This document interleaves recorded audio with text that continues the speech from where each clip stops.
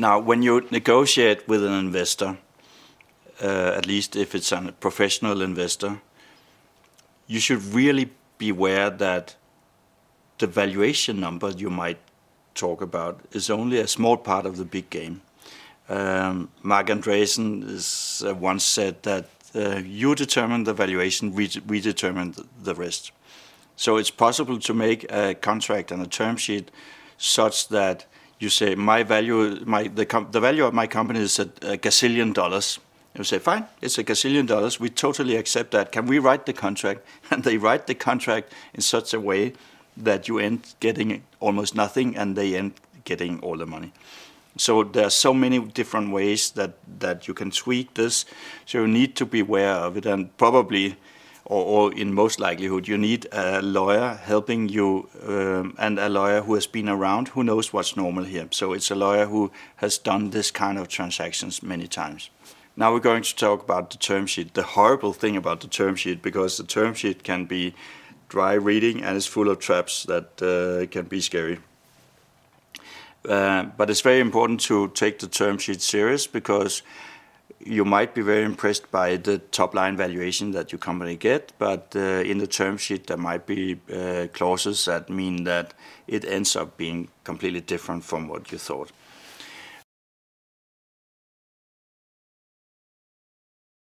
The first thing is um, if you have, um, especially if you have uh, different potential investors talking with you, and then one steps forward and say, okay, we'd like to lead this round or do it alone.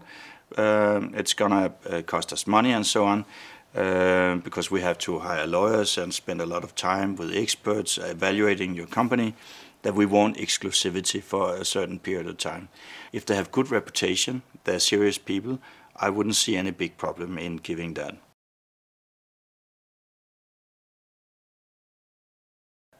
There are a number of things that you might see that are not that easy to agree to or complicated. One of them is that they come and say, okay, so you own you're the founder of the company, you own 10%, fine. The only thing is we want you to vest your shares.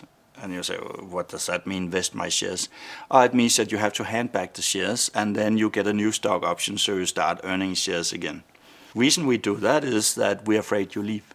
And if you leave, we don't think there's any company. So we're investing in you, but we want to make sure that you are there. So we're not invested in something that collapses. The only thing is, if you do that, you have to have a clause that says if they then fire you, that you then keep the original shares you had, because otherwise you would have this horrible situation of, of, of building up the company, having these shares, you hand them back, then they fire you, and then suddenly you've got nothing. So that kind of protection should be acceptable to them. So that there are different variations of that. There's also the situation where they say, we looked at who has shares here, and you allocated the shares some years back uh, based on some assumptions, and it turns out it, it had developed differently. So now it looks like this person should have more shares and this person should have less. So we are not going to invest unless you rearrange that so it really reflects the reality that you have now. And very often that makes sense because an error has been made in the past, so you, the investor demand that you correct for that.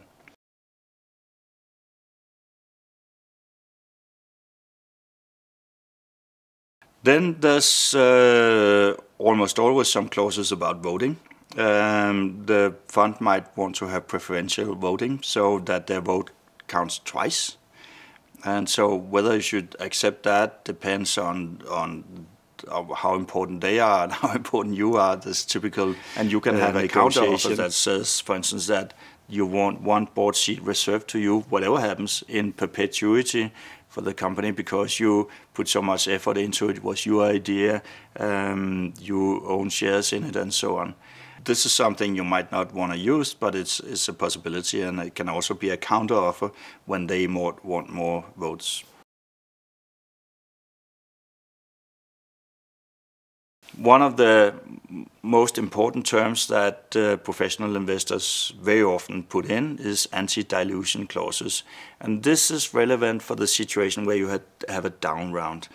So um, startup companies, uh, typical flow is every every um, financing rounds is uh, at a higher valuation, so higher share price. But sometimes it's at a lower price uh, if a business model doesn't uh, work the way it should, or if you have a big recession and everything is depressed.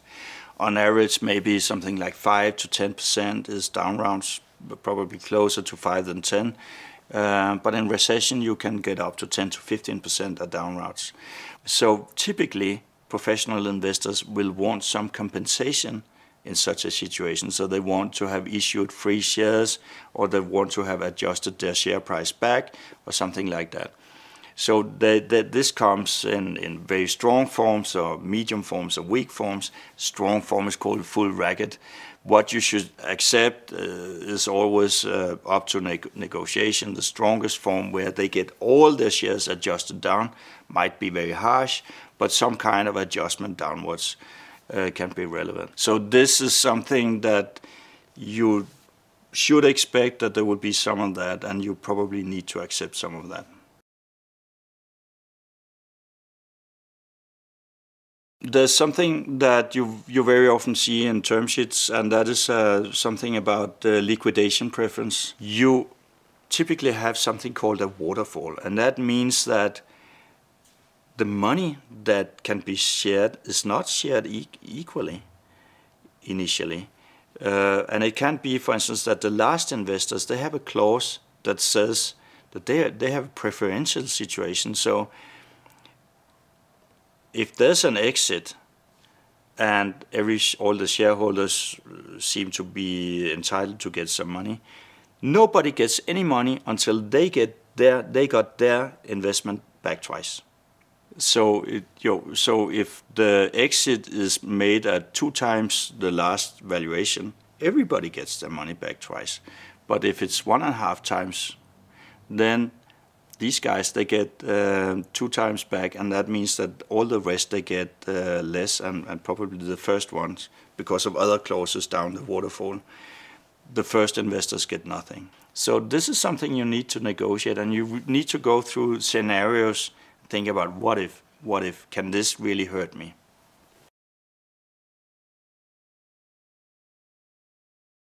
One term you see very often is that the last uh, investors, they want accrued dividends. So they say, we want uh, that there's a calculated dividend per year for us of so and so much. It's not paid out because the company is not in a position to pay out.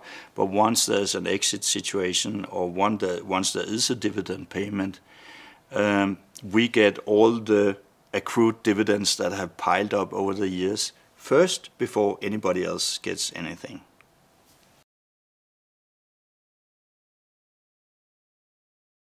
Then we have drag along rights. They are very important. So let's say that somebody comes and, and offers to buy your company for $500 million.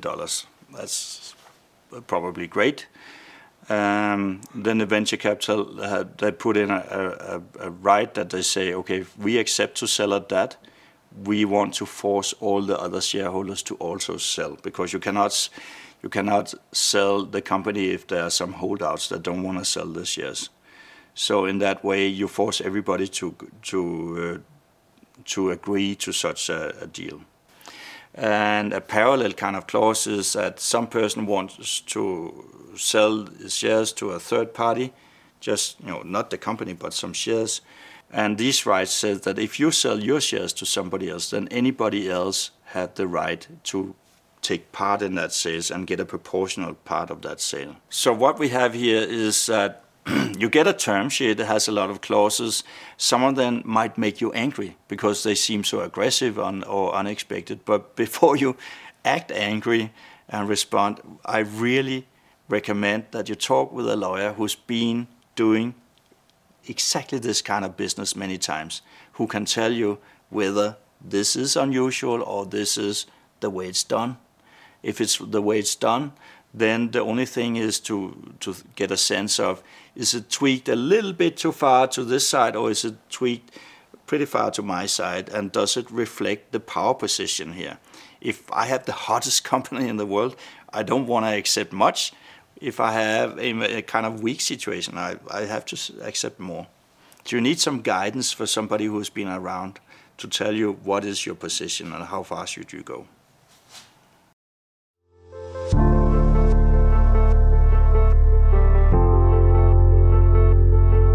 Speak future?